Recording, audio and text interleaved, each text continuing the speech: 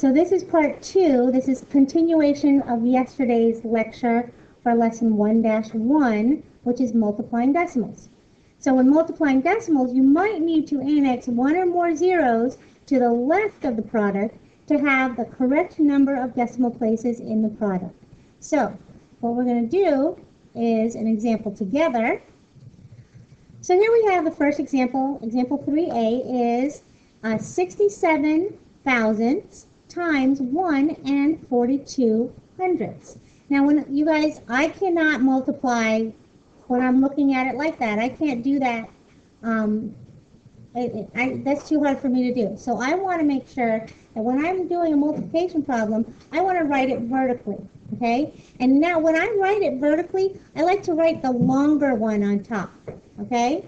So here we've got 0 0.067 times 1.42. And remember, you do not have to line up your decimals, right? So now you just multiply like normal, okay? You just multiply like normal. So here we've got 7 times 2 is 14, carry the 1.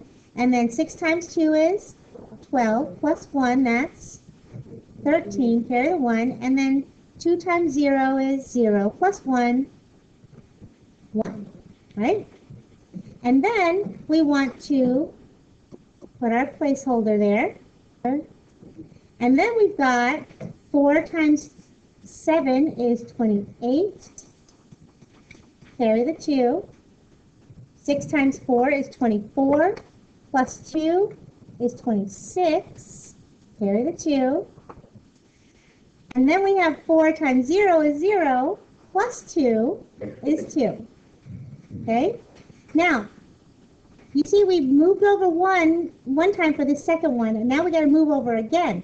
So you guys, we have to put two placeholders in there. Don't forget, two placeholders. So here, now, we cross those carries out, and now we multiply 1 times all of those. So we have 1 times 7, 7, and then 1 times 6, 6. And of course, you don't have to multiply that first 0. So here we're going to add. So when we add, we get 4, 8, 9, 10, 11. And here we have, that's 6 plus 1, that's 7, so that's 14, plus 1, that's 15, carry the 1. And then here's 6, 7, 8, and 9. All right, so now, so now we have to decide where the decimal goes, right? So how many numbers do I have behind the decimal in the first digit? Three. And how many in the second digit? Two. So when we add those together, that means we need to have five numbers behind the decimal in the answer, right? So here's my decimal at the end. When I move it, we're going to move it one, two, three, four. Uh-oh, I only have four. What do I need to do? Right, I need to put another one like that, and my decimal's going to go right there. What do I do right here? Add a zero. Add a zero. What's the, what is it called when we're adding a zero? No, it starts with an A. You just wrote down the definition. Annex. Very good. We are annexing the zero. Now, another thing I told you that I wanted you to do, if you don't have a number in front of your decimal, I want you to put a zero there too. Is everybody clear? So our final answer, when we write your final answer, I'll just rewrite it again down here, 0.09514. With your table partners, I would like you to do this problem. I'll give you two minutes. All right, so there's your answer. Very good. So you just, and again, you guys, I on this one, I know I said I like to put the longer number on the top, but those are just ones. Does everybody see that? Mm-hmm. So I put the ones on the bottom so that all I have to do is just multiply by, by one each time. Does that make sense? Yeah. So I just, so I guess you just have to pick and choose.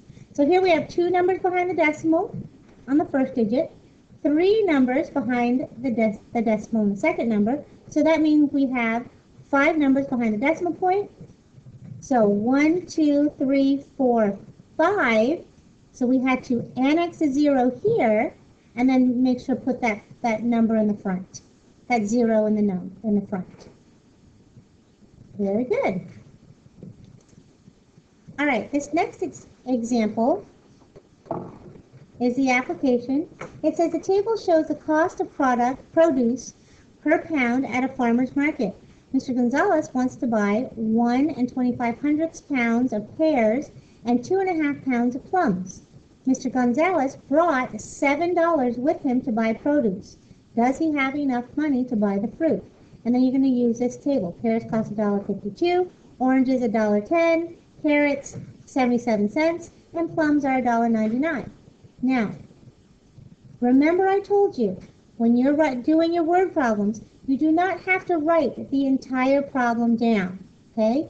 You just need to write down the important information, okay? So before you start this problem, in your notebook, you're going to write down the important information, okay? I'm going to give you five minutes to do this problem, and then we'll get started on it. All right, so in this problem, what is the important information? Tell me one thing. Very good. All right, so here, you guys, we've got 1.25 pounds of pears. We've got 2.5 pounds of plums. What else is important? Good. He has $7. Okay, he brought $7 with him. And the question is, does he have enough money? Is everybody clear? Now, how much does it cost for pears? Dollar fifty-two. And how much does it cost for plums? All right, dollar ninety-nine. Now, the first thing we said we have to do is we need to find out how much he's spending on pears. So when we do that, we are going to multiply 1.25 pounds times the number of um, the pounds, the cost per pound, which is one dollar and fifty-two cents. Is everybody with me on that? That's for the uh, pears.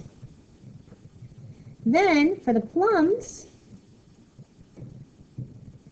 we're going to multiply how much he wants to buy, two dollar, two and a half pounds, times the cost, $1.99. And of course, like I said, I like to put the longer number on top. So I'm going to put $1.99 up here, and uh, 2.5 pounds down here, and we're going to multiply. Oh, we're just multiplying times ones, right?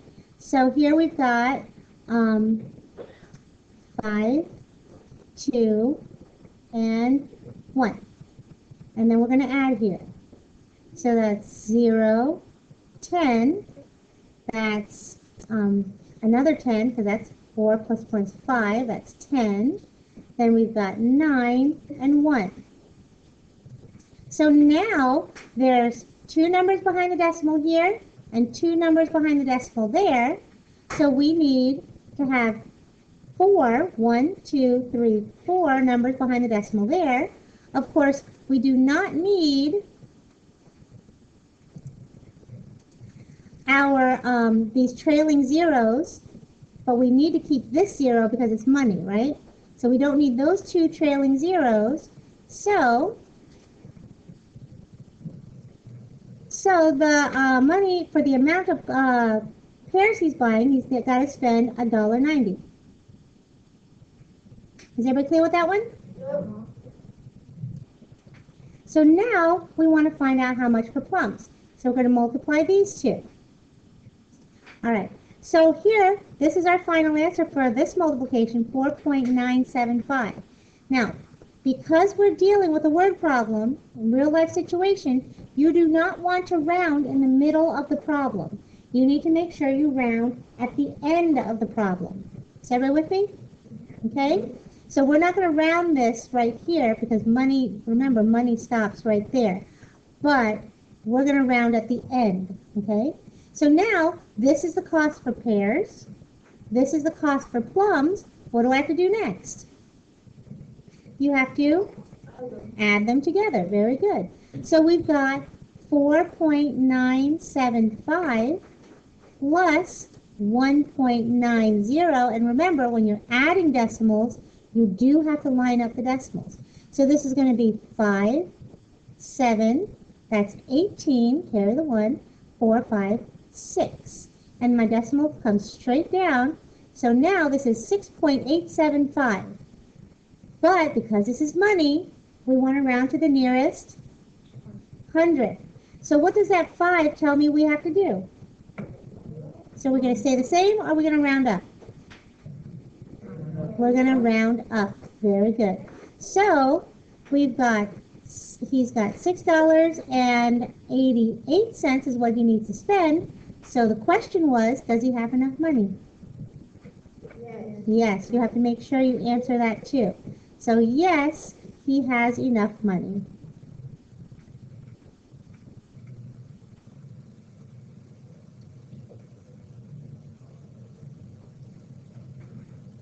Sağ.